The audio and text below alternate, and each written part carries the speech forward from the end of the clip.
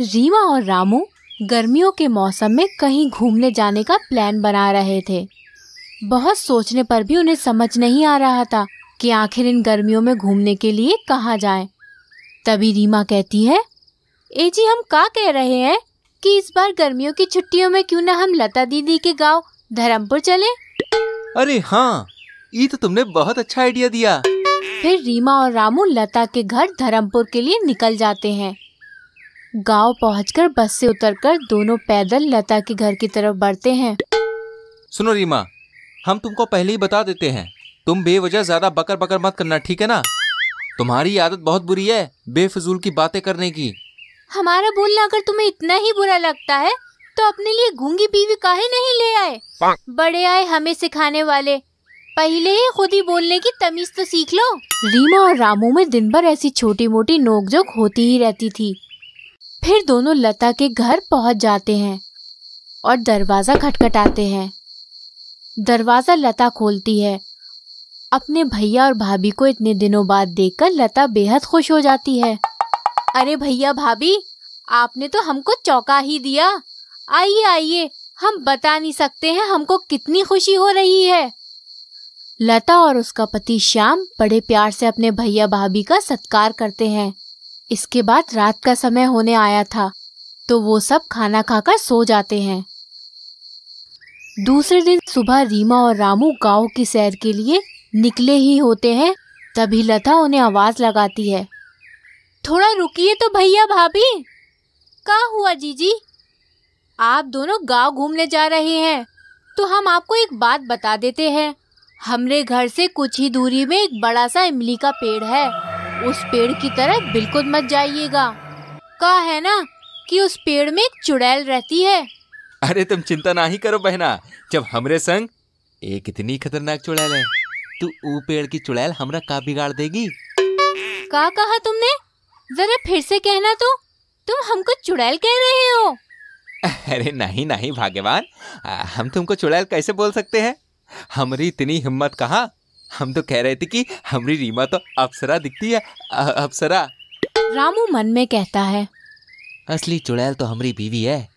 कितना भी धीरे धीरे बोलो ऐसी बातें इको तुरंत ही सुनाई दे जाती है। हम्म, तुम जरा सी चिंता ना करो जीजी। हम उधर ना ही जाएँगे। फिर रीमा और रामू दोनों सैर पर निकल जाते हैं। का तुम हमको दिन भर चुड़ैल कहते रहते हो? किसी दिन जब हम सच में चुड़ैल बन जाएँगे ना तब तुमका समझ में आएगा। वो तो तुम अभी भी हो। ऐसे ही नोक झोंक करते करते कब रामू और रीमा उस इमली के पेड़ के पास पहुँच जाते हैं उन्हें पता ही नहीं चलता। उस इमली के पेड़ पर बहुत सारी डरावनी गुड़ियाँ लटकी हुई थी। जब अचानक रीमा और रामू की नज़र उस पेड़ पर पड़ती है तो दोनों बेहद डर जाते हैं। ईका तुम ये हमें कहाँ ले आए? तुम्हें याद नहीं? जीजी ने यहाँ आने के लिए हमें मना किया था। ये सब तुम्हारे कारण हुआ है। अरे तुम्हारी बकबक के कारण हम हमेशा ऐसी ही परेशानी में फंस जाते हैं, हानि तो। कुछ अनहोनी हो, उसके पहले यहाँ से जल्दी चलो फटाफट से। फिर रीमा और रामू वहाँ से जाने लगते हैं। तभी रीमा पलटकर उस पेड़ को देखती है। उस पेड़ से एक लाल रोशनी निकलकर रीमा के अंदर चली जाती है। फिर रीमा की आँखें लाल हो जाती हैं। रीमा पूरे रास्ते रामू से एक शब्द बात भी नहीं करती। लगता है तुम हमारी बात का बुरा मान गई।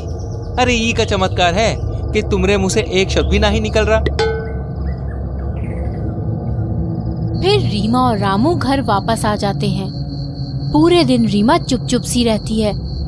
जब सब लोग साथ में बैठकर बातें कर रहे थे, उस समय भी रीमा कमरे में जाकर सो जाती है। फिर ऐसे ही करते करते रात हो जाती है। रीमा और रामू दोनों सो रहे होते हैं। तभी आधी रात में दो बजे रीमा की आँखें खुलती हैं। रीमा की आँखें पूरी लाल थीं।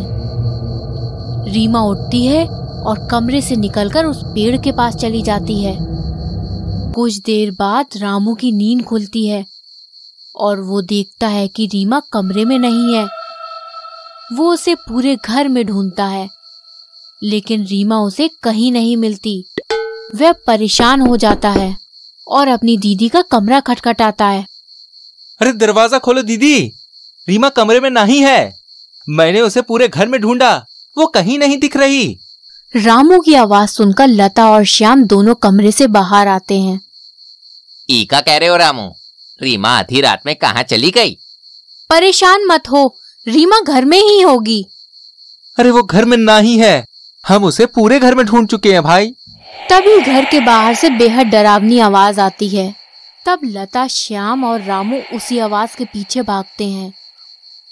वो लोग आवाज़ का पीछा करते करते उस इमली के पेड़ तक पहुँचते हैं। तो वो लोग देखते हैं कि रीमा पेड़ पर उल्टी लटकी हुई है। रीमा बेहद ही डरावनी दिख रही थी। उसके नाखून बेहद लंबे, आँखें लाल और बाल खुले हुए थे। हाय रे हाय ई का हो गया हमरी रीमा को। अरे ये तो सचमुच चुड़ैल बन गई रे। बचाओ रे बचाओ मेरी बीवी का कोई तो बचा लो रे। कारी चुड़ैल? तुमने रीमा को काहे अपने बस में कर लिया है? उसने तुम्हारा क्या बिगाड़ा है?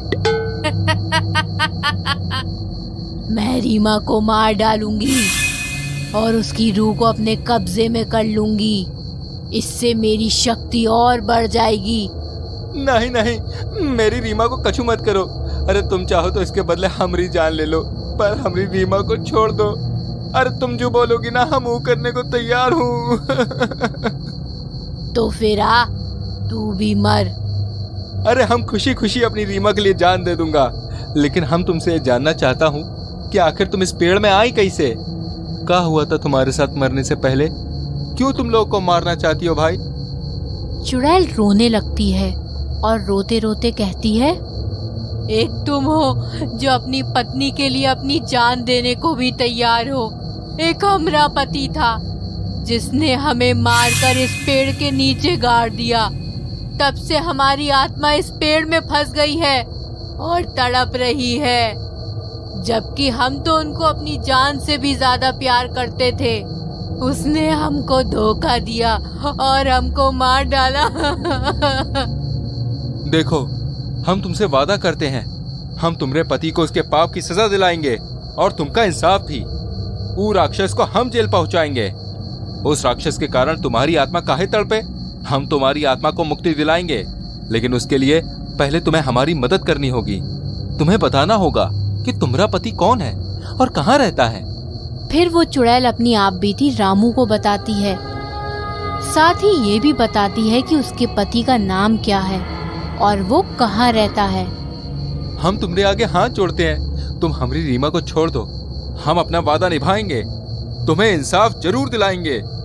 फिर चुड़ैल रीमा के शरीर में से निकल जाती है। हम सभी इंसान भूत के नाम से कांपने लगते हैं। पर कभी हम ये नहीं सोचते कि आखिर वे क्यों भटक रहे हैं। उनके भटकने के पीछे कोई ना कोई कारण तो ज़रूर होगा। ये भटकती हुई रूहें भी कितनी तकलीफ़ में होती हैं। उनकी तकलीफ़ तो कोई समझ ही नहीं पाता फिर रामू अपने वादे के मुताबिक उस चुड़ैल के पति को खोज निकालता है और फिर पुलिस को भी उस पेड़ के नीचे दबे उस चुड़ैल के कंकाल को दिखाता है, जिससे उसके पति का जुर्म साबित हो जाता है और उसे उम्र कैद की सजा होती है, जिससे उस चुड़ैल को इंसाफ मिल जाता है उसके बाद रीमा और रामू पूरे रीति रिवाज के साथ उस चुड़ैल के कंकाल का अंतिम संस्कार कर देते हैं, जिससे उसकी आत्मा को मुक्ति मिल जाती है। हाँ मज़ा आया ना कहानी देख के? तो जल्दी से हमारी वीडियो को लाइक करो और शेयर करो। और ऐसी और कहानियाँ देखनी है तो चैनल को सब्सक्राइब करो। और हाँ घंटी को दबा देना। मिलते हैं एक और कहानी के संग। ख्याल रखना।